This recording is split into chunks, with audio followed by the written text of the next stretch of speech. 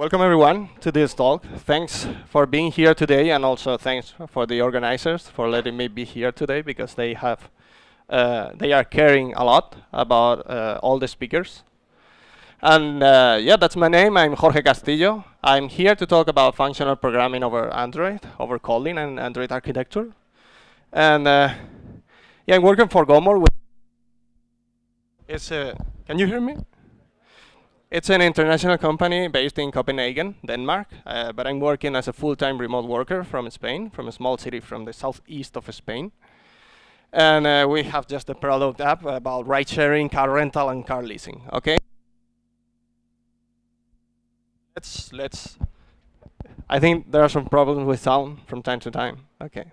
Let's talk about functional programming, okay?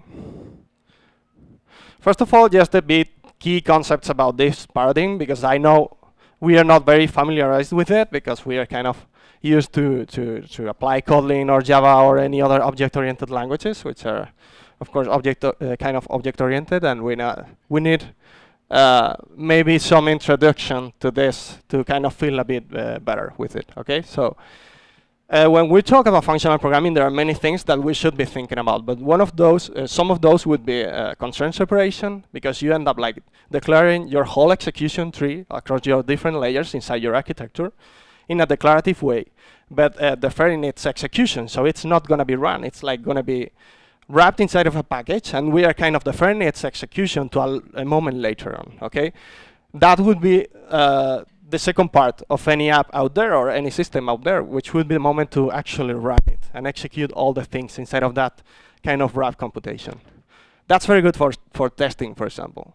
Uh, we also have purity, which is just about um, if I call a function 1,000 times and I pass the same parameter values every single time, I should get the same result every single time. Okay? That means that the function is not doing any side effects, anything behind the scenes. It's just taking its parameters, playing with them, and providing a result. That's something good because that means determinism, okay? That's predictability inside our code. We don't really want to have side effects. Um, referential transparency is just about readability at the same time. If I look at if, if I look at a function or I read a function and I look at its return types and input types, I should be able to know exactly what is it going to return. I, one is what is it asking for? Okay. It has to be kind of very explicit about its uh, contract, usage contract. Okay. And of course, pushing a state aside. Okay, because we don't like a state and we want to try to play with uh, pure purity all the time, okay? So we want to move or push that state to the edges of the system where the frameworks are bounded. So there are many features inside of Kotlin that are also, also can also be found in functional programming languages like high-order functions, uh, functions as first-class citizens, and uh, I don't know, uh, operator overloading type inference that can also be found in languages like uh, Haskell, for example. So it's not functional. I mean, Kotlin is, of course, is not a functional language by design, but it's open for that. But it still lacks some important features in functional programming that we really need to be able to play, uh, to play like completely, to use it completely, and uh, at its, its uh, full potential. Okay, like higher, uh, kind types, which is a very high level abstraction. We don't need to care a lot about its meaning for now and for example, type classes, okay? We have a an kind of unofficial proposal for Kotlin to include type classes inside of the language. They are kind of evaluating it, but it's still not done, and we are not sure that they are going to be there ever. So we hope they like the proposal, and they, up, uh, they end up implementing it, uh, those, but uh, we still don't know. So we started thinking about creating a library over the language, which is uh, to provide um, data types and abstractions uh, to do functional programming over Kotlin, okay? It's inspired by some very well-known libraries in the functional programming world, like Scala, Scalaz and uh, uh, ty uh, type-level cats. And of course, it's open for public contribution, okay? People like Raul Raja or Paco Estevez uh, are contributing a lot on this library since day one, and we have been working on it for uh, around seven months, I think it is now. So it's a big work, but it's starting to look very good and very close to a final stable release. So let's try to use the library to solve those very key problems that we can find on any possible system out there. If we are playing with languages that uh, operate over the Java virtual machine, okay? Which could be, example, uh, the very useful problem about modeling error and success cases, because if your system needs to um, query an external source, like a database or uh, an API client, uh, an API using an API client, you should be able to model those kind of successful results inside your system, inside your domain, but also the possible errors, because those exter external um, um, sources of data could be throwing errors like I.O. exceptions or things like that, okay? So both worlds need to be modeled inside your domain layer. There's also, of course, a synchronicity and threading, quite important. Side effects. We are playing with side effects all the time on object-oriented languages because that's very related to state. And, uh, and in object-oriented languages, we play with objects. So each object has his own memory state. So uh, they are kind of very prompt to having side effects. We are gonna really need to care about those in functional programming because uh, one big concept inside of the paradigm is about removing those side effects inside the whole execution chain and try to kind of push them to the edges of the system, okay? Of course, dependency injection and testing. So let's start uh, uh, in the uh, in the very the very first one, which would be modeling error and success cases, okay? If we think about the kind of vanilla approach that we have been doing for a long time in Java, uh, it could be something like this. I think the previous speaker has been talking about use cases. That could be a good, this could be a good example. We are gonna fetch some heroes, so we have a use case wrapping that sort of bridge or domain logic inside of our domain layer. So we have the method that we are gonna be calling to ask for a page of uh, heroes and a callback to provide results because it's gonna be an uh, asynchronous call, okay? So the data source, we are injecting a data source and also a logger, which could be an implementation uh, using Fabric or something. So we are going to be using the callback to provide the result. So the data source is going to be fetching the heroes, and then if everything goes all right, we will notify the, the, the list, the valid list of heroes to the previous thread, because we are most likely going to run this inside of a different thread, because it could be a complex computation or a long time uh, computation. But if anything goes wrong, uh, maybe you want to catch uh, those sort of exceptions pro uh, produced by the external source systems and then notify them using the callback. Maybe you want also log, uh, to log those errors using the Fabric logger implementation just in case you, you want to have some clues about what's happening in the domain layer errors in the future or whatever. But this doesn't look very good to me, okay, honestly, because First of all, we kind of need to wrap exceptions in the domain layer, and then we need to kind of map them to a different notify notification system. Uh, and notify the previous thread using a callback, for example. So we kind of have two different ways of prop uh, propagating the error here, and we need to switch or swap uh, between those just because exceptions do not surpass thread limits. If I just don't catch an exception here, and there is some presenter of view model uh, executing or calling a this code and run it a on a different thread using a thread pool executor, for example, the error would get totally lost. I mean, it would never reach the presenter, okay? Because exceptions are not capable of surpassing thread limits. So the presenter could be waiting forever for a response, okay? So this is not pretty cool. And we also have a problem here because uh, we are kind of breaking referential transparency because we cannot reflect in the return type of the method what is it going to return. We need to use a callback, and the callback is not saying anything about the error type. So we need to get inside of the callback and look at the, its implementation to, to notice that there is also a possibility that this function could be returning an error.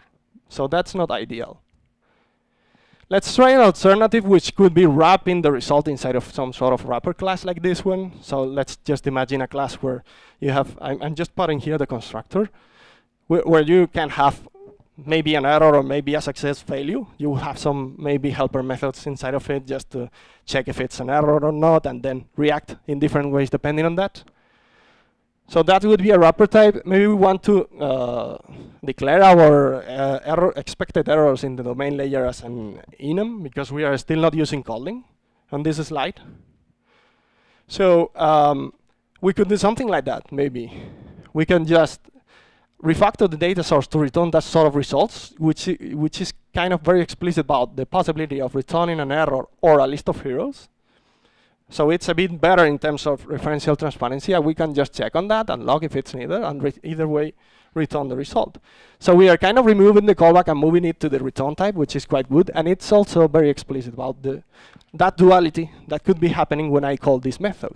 So it's impossible to me as a caller, if I'm the caller to this of this function, to miss the fact that some error could happen. Okay.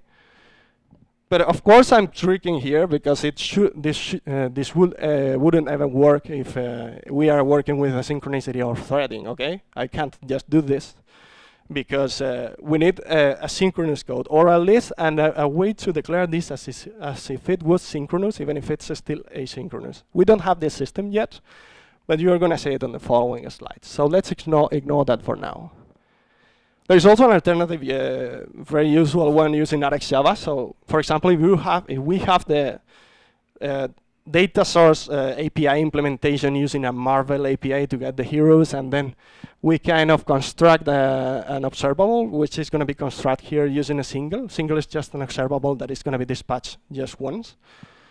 But what we are doing is preparing an observable that the moment an observer subscribes to it, what we are going to be doing is fetching the heroes, and if everything goes all right, we would be notifying about that, but if any error happens or anything happens, we can also notify about that. I know that those on error are termination events and are, are quite not the best way to notify about errors on RxJava. You have other systems and operators to recover from errors and things like that, but that's not like the, the main point on this slide. So this is not very important. Let's just think that the data source implementation is going to be returning an observable where we can subscribe to. So the use case simpler now because you can see things like this. You can do things like this. You can map over the, the, the observable and then, for example, add some business logic on top of that. So the use case could be, for example, discarding some non-valid heroes that don't have valid uh, portrait images or whatever. And then you can also react to, your, to errors. And everything's kind of wrapped uh, on a single stream. So it's much better because you have a single stream of data where both concerns about error and success results uh, are modeled or included. It's a bit better, but then we don't have the error type inside of the result type still. So that could be one of the bad points of it. But you could do something like using other different types, like the maybe type uh, or things like that. Okay, it's not that bad. And of course, you can uh, care about um, threading using the schedulers, which is very well integrated with the RxJava API. But let's start trying to solve the, the same problem using Kategory. All right? Uh, Kategory brings to the table a new class which is called either. Either is like a maybe. It's just about uh, a disjunction. What it's telling to you that is that it could be an, a left or a right. So it kind of contains two different uh, values because it's a sealed class. So in every moment or any moment in time, it could be just the type on the left or the type on the right, but never both of them. So it's clearly telling you that it's going to be one thing or the other one, with no exceptions. So let's start using Kotlin now. We have our kind of uh, domain exceptions or errors model as a sealed class, because we just have a bunch of them, a sealed hierarchy of those errors. So a sealed class is a good way to model those. And we can do a new implementation on the data source, which is quite different. What we are going to be doing is passing the dependencies as uh, function parameters. That's very functional style. We are going to be fetching characters using the service. And then the result, which is going to be like a collection of hero D network DTOs or something like that, we probably want to map it, that collection, to a collection of domain model heroes, okay? Because we don't really want to play with network DTOs across our different layers. We don't want the network DTOs to get inside of the domain layer, okay? So what we are going to be doing is get that whole result, which is a valid and already mapped uh, to domain uh, collection of heroes. We are going to be wrapping it inside of a right. Right is the right side of either, okay? If you can remember, it's, it's a sealed class which can have uh, two values, left or right. And by convention, either classes inside functional programming always have the error type on the left and the success type on the right. So if it's a successful value, like this case, I would be returning a right in uh, wrapping that value. But if anything happens, any possible exception, I'm gonna convert it to uh, one of the errors defined on this sealed class, and then I'm gonna wrap it inside of a left. Because the left is, is the error type, okay? So this class is very good in terms of referential transparency because it's clearly saying I can return either an error or a valid list of heroes. Very explicit. Okay? So the use case can look very simple now because we can just apply a fold function over the either being returned by the use by the data source. It's returning an either and I can apply the fold function and folding over that means that uh, I need to pass two different lambdas, which are just going to be applied depending if it's an error or a success value. So the first lambda is for the error type. Maybe I want to log it and then return it as it was because the error was a left. So I need to kind of wrap it again. But if it was a success, I just let it be as it was. I don't, I don't do anything with it, okay? And keep moving. So we're folding over the either to apply different effects depending on the case, okay? the presenter or the view model who is kind of calling the, this code could be very simple again because simple again because it also can fold over the either being returned by the use case at the same time and apply different view rendering effects uh, or view rendering orders for the view contract depending on the case. So again, the same problem being solved in, in the same way. You can forget about all the arguments I'm passing uh, manually on each one of those levels because we are going to get rid of those with some uh, interesting systems in the following slides, okay? Just forget about them for now, please. So what we are going to be doing, uh, if you can see here, those are the methods we are using to render the errors or the, or the valid list of heroes on the screen. So we are going to tell the view to render those. So about the errors, what we are doing is just a matching over the error type that we have inside of a sealed class. So we kind of uh, can be uh, get, get the benefit from exhaustive evaluation that we have from Kotlin when statements when we are playing with sealed classes. And we also have our kind of implicit castings thanks to, to the when statement. So depending on the case of the error, what we are going to be doing is applying a different effect, as you can see on the view, like showing a snack bar, a dialogue, or whatever. Or maybe just closing the screen, or whatever we, we think it's good for the business or for the product. And in terms of the valid list of heroes, what we are going to be doing is maybe rendering it, and maybe we, we want to map it to some kind of renderable models, which could be simpler uh, if we don't need the whole domain model inside of the view implementation, okay? Because maybe we are just going to be rendering a picture and the name or something like that, and that's all we need. But still, we are kind of tricking here because we still didn't say anything about uh, threading and, and uh, synchronicity we need to do something with that because we are playing like in a very imperative way. So we are just requesting some function execution and getting the return type from them or the return value from them. But that's not playing very good with threading and asynchronicity. So there are up to date or until this very moment, we have some different alternatives to solve this. Like as a very uh, brief recap, Remember that for the vanilla Java approach, we were using thread pool executor and exceptions and callbacks for mapping errors. RxJava was more about using schedulers. That was very simple. Plus observable and error subscription. And uh, on Kategory, we are going to be doing something different because what we have, what we really, in, at the end of the day, have here is a computation that is going to be applied uh, to a to a, an external data source, for example, an API client uh, querying an API, or uh, maybe the implementation of the data source could be querying a database or whatever. So it's like an external computation. It's an I/O computation, and we need to wrap that inside of an I/O monad. Okay. You can forget about the monad word because I'm obviously not going to be talking about monads here. This is not a functional programming event, and it wouldn't add a lot of value what I really want is you guys to have this like crystal clear. The IO computation is going to wrap a computation that it's a side effect. It's a computation that is going to be querying something external, or some external systems or whatever. Uh, so we kind of run to wrap those side effects inside IO to make them pure. That means that we are deferring that side effect execution. We are kind of going to wrap it inside of a package and use it as a pure value and later on, when we are ready to run it, we will explicitly tell it, this is the moment to unfold. You can apply all your side effects. But not until that very moment, okay? So that's going to help us to make that, that kind of I.O. computation very explicit in the return type. So we kind of keep making our type grow here. We have the either, which could be an error or a valid list of heroes, which is going to be wrapped inside of an I.O. now. So this clearly means this I.O. is wrapping a computation, which is the threading time, which could be returning either an error or a valid list of heroes. So this is modeling uh, different things instead of the same type the I/O computation plus the duality about what could be return, could it be returning. So the network data source implementation could look like this now. We can use a function to run this in a, in a synchronous context using Kotlin coroutines or whatever we want. But what we are going to be doing is querying the, the, the API using this function.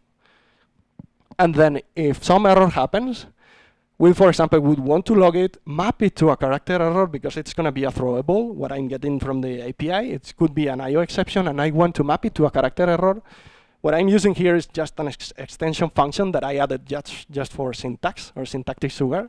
But this is returning the same throwable already mapped to a character error, which is one of the errors, if you can remember, that we were modeling using our seal class inside our domain layer. And in the end, that kind of already mapped error, I'm gonna lift it. It's called uh, it's called lifting. I'm gonna lift it to a left value, which means I'm gonna wrap it inside of a left. This is another extension function just for, for syntax. So what I'm returning is a left wrapping the error on that case. But if everything goes all right, I kind of do the same. I map the heroes to some domain models, and then I'm gonna wrap it inside of a right value because it's a success. So it's a right. It should be uh, this value, okay? The, the one on the right. You can ignore this because this is just about the syntax on Kategory and we are kind of passing an asynchronous context to, to, to kind of force this to run in a different thread and as an asynchronous task. You don't need to care about that now. But please look at this. I mean, the result type is really explicit. It's clearly saying, this is an I.O. computation. This is a computation that I'm deferring in time, which could be returning either an error or a valid list of heroes again. So the use case, it's easy again, but this time, what we get back from the data source is an IO. It's not an either anymore. It's an IO wrapping an either. So I need to map twice. That's not very cool, right? I mean, I need to map twice because the first mapping is going to return me the either. I mean, and here I'm going to be playing with the either. And I map the either again to discard the valid here, the non-valid heroes. The either is a class that we say it's like right biased. That means that any methods like map, flat map, and so on are playing over its right side always. So the left side on the er, on the either, which would be the error here, is not really being affected by those methods. Okay, it's just being passed on level by level. Presentation logic would be doing something interesting because we kind of get the either, sorry, the IO back from this because it's still returning an, I, an IO. You can see it here, wrapping an either. So we we are deciding to apply side effects now. This is the moment what we, what we were talking about before. This is the moment for me to say, hey, I want the IO to resolve and to apply its effects. Okay, because I want to access its, its inner values and do different things depending on that. So I get access, I, I, I tell it explicitly to run and unfold and run actually execute its uh, inner computation, and then the result would be folded again to apply different effects depending on the case, okay? But this is not ideal because I don't really like to apply side effects inside my presenter or my view model or whoever is calling the use case. What I will want to do is something different, okay? Ideally, I would really want to push those side effects uh, to the edge of the system where the frameworks are bound, which in Android obviously means the view implementation, okay? I want to kind of let the view decide when side, side effects are going to be applied. So this still the rest of my architecture is going to be completely pure, okay? Completely avoiding side effects. Solutions for this. We can apply something very, very simple or very common in functional programming, which is lazy evaluation, okay? So we are just going to defer all the things. Yeah, right? So we can just start returning function on each one of those levels inside our architectures. architecture. So if any step inside our architecture is modeled to return a function instead of the already computed value, that means it's going to be returning something expecting to get run, but it's still not run. So that's very related to functional programming. So we can try to compose our whole execution tree doing this. For example, the presenter method could be returning a function, which is saying, hey, if I get my dependencies passed in, then I will be able to do something. The use case can be doing the same. The network, the, the data source can be doing the same. And in the end, it's gonna, the moment it gets it, finally its dependencies, it's gonna be able to take some dependency from inside of that data class or whatever and use it. So the whole computation tree is now kind of deferred in time. It's still not run. It's, if you call the presenter method from the view implementation, you are gonna get a computation which is still not run. It's just a function waiting to be run. But passing in the dependencies all the way down across the different uh, layers, it's not very cool. We would really want to avoid that in some way. Can, can't we kind of implicitly pass them or inject them in, in any way? And yes, we can. Okay? So we can use something which is quite cool, and it's called a reader monad, which is just a very weird name to say, uh, I'm going to wrap a computation and defer it in time.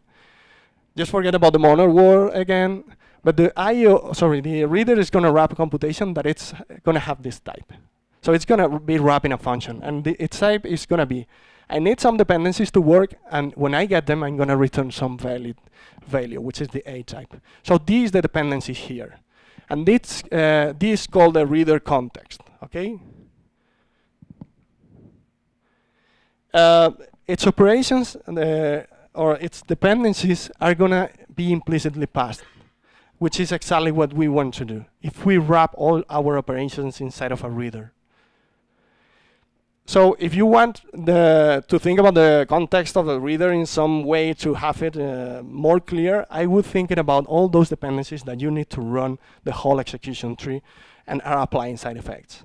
So for example, the threading implementation, which is going to switch threads, the, the data source implementation or the view implementation used to, ren to render side effects on a screen, all those things should be passed inside of the dependencies of the reader or included inside of the dependencies of the reader because I want to have the power to switch them at tests, okay, later on. It has some weaknesses because even if it's solving the problem of deferring function execution or computation execution and also implicitly passing dependencies, which is very cool, it's not capable of uh, playing with what uh, functional programming calls uh, function, uh, computations returning monadic values, which is just either, option, IO, and so on. The reader is not able to play with that. So we need something a bit more powerful, but implementing the same kind of uh, concept or solution. So that's the why the Kleisli exists. Kleisli is just like an improved reader, okay? You can, uh, it's frequently called reader transformer or reader T using a type alias. And we are going to be using it, okay? Same result we had until now. We are going to wrap it inside of a reader. So what we are doing now is say, I have a deferred, IO, a deferred computation, which is going to be an IO computation that could be either returning an error or, or a list of heroes. This is starting to look a bit uh, weird. okay, this is not very readable, I know. But we will find a solution for this, okay? So for now, we can implement our data source implementation doing something like this. It's cool because the, the return type is exactly doing what we wanted to do, okay? It's gonna be a reader wrapping the computation. But now we are doing something interesting because we don't need to pass the dependencies explicitly anymore. We kind of get magic, magical access to them or automatic, automatical access to them. And for that, we are calling an interesting function inside of the reader companion, which is which is the ask function. The ask function can be called statically, statically, like we are doing here, and then it's gonna automatically wrap a computation with the type, uh, with this type. If I get a D, I'm gonna be returning a D. It's like a trick. So what we get is access to that D, which would be the context of the reader, automatically. If we map over that, we can access to the context and use it to do the same computation that we were doing before which is exactly the same, but this time it's using the context, if you can see here and here, to get access to the side effect uh, dependencies that we have inside of it. So by doing this, we avoid passing dependencies explicitly at each one of those levels, and uh, the use case wouldn't need to change at all, but this time it would be returning a reader transformer, and the view, uh, sorry, the presenter uh, could look like this. We again ask to lift up a reader from the context value, so we kind of flat map over it and we get access to the context. This inside of the parentheses is the context itself, but I'm applying a data class construction, which is just a feature inside the language, to get rapid access to its properties, okay? So I'm getting access to one of the dependencies included in it, which would be the view contract, okay? And I want to do exactly the same thing I was doing before. Okay, but now I have access to that to those dependencies thanks to the reader. Okay, and dependencies are also explicitly passed in. I don't need to pass them anymore. And the computation is deferred in time because we are returning a reader. Its side effects are not really being applied on the presenter, are just being modeled. Computations are, being declarative modeled here, but not run. So the view implementation can do something like just ignore those lines can do something like this. If we are, for example, in the on resume callback from the Android activity or whatever, we can just get the reader coming back from the presentation layer and tell it to explicitly run. This is the moment where we say in the, the view implementation, it's, it's the moment to run everything, okay? I just want to get rid of all the purity because I'm on one of uh, the other side of the boundaries right now and I'm ready to pass you all the dependencies wrapped inside of a context and run the whole chain using that. So the whole chain will automatically unfold and use that context to evaluate each one of the steps. Of course, the context could be a data class including all the dependencies. It doesn't need to be very complex. Okay?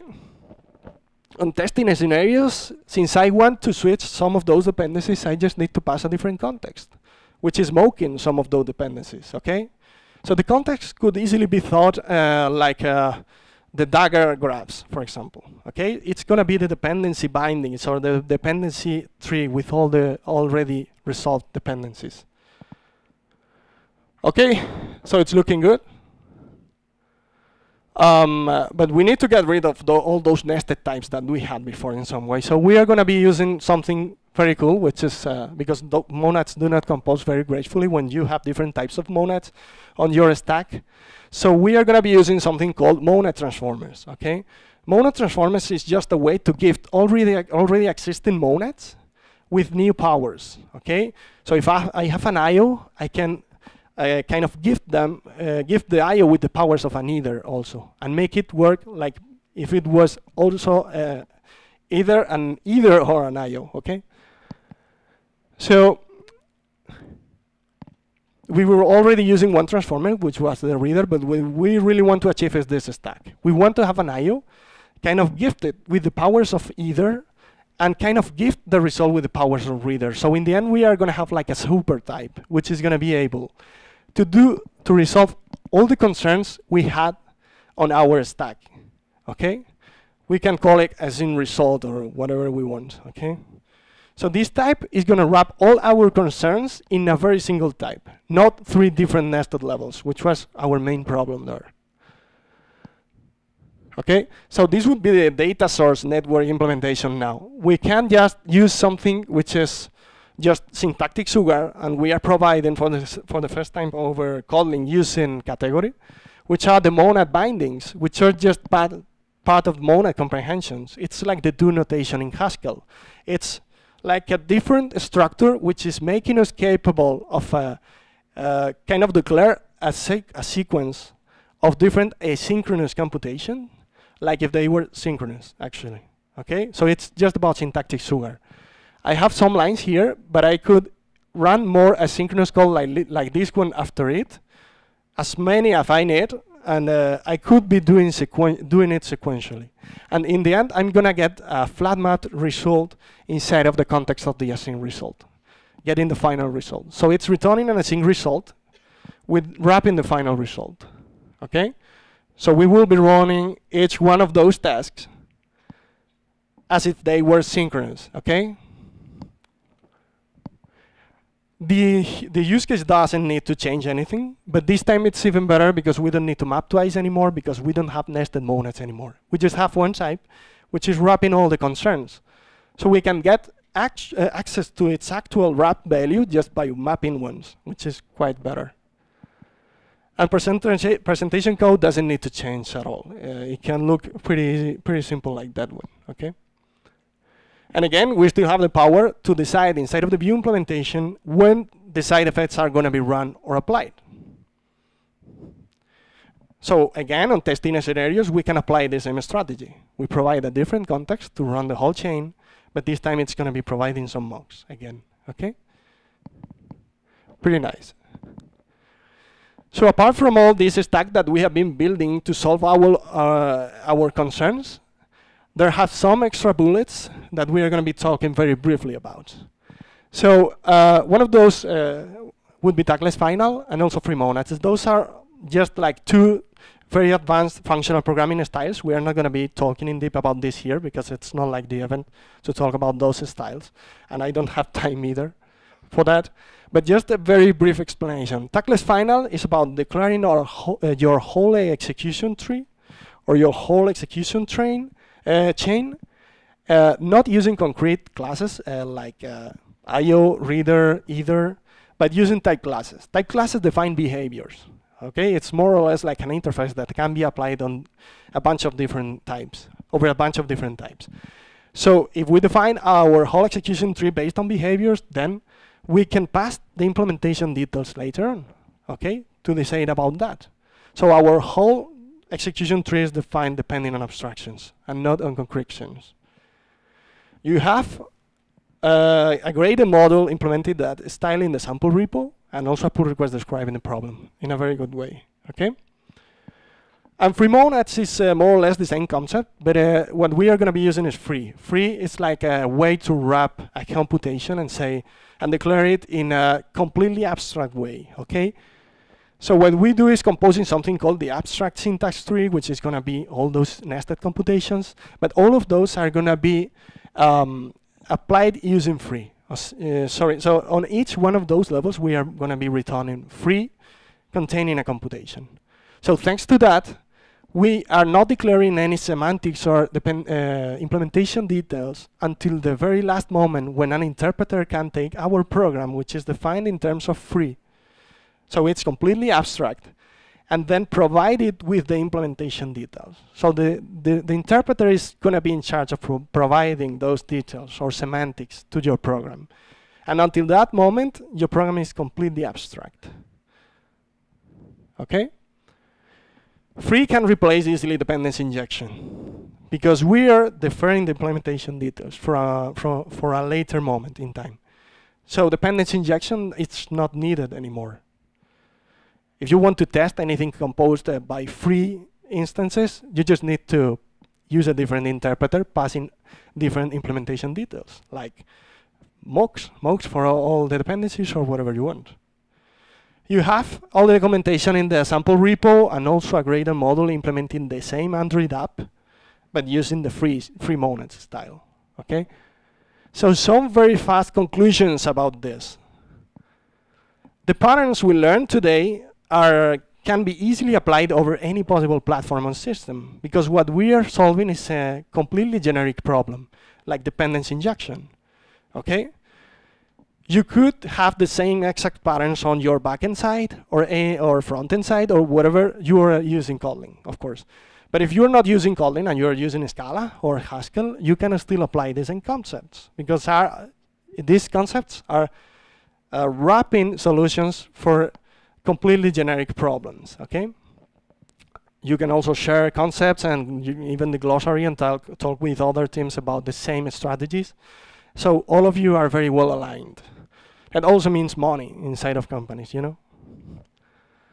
So, um, also functional programming is really about fixing things once and not doing it again ever. So if you can fix dependency injection in your Android app, and that's also valid for your backend and your frontend and everything, you can just make a library and reuse that without any problem. So you have all the samples of all the styles of functional programming that we have been uh, talking about today inside of the sample repo. You have the same application four times, uh, implemented four times. And each one of those is implementing a different approach.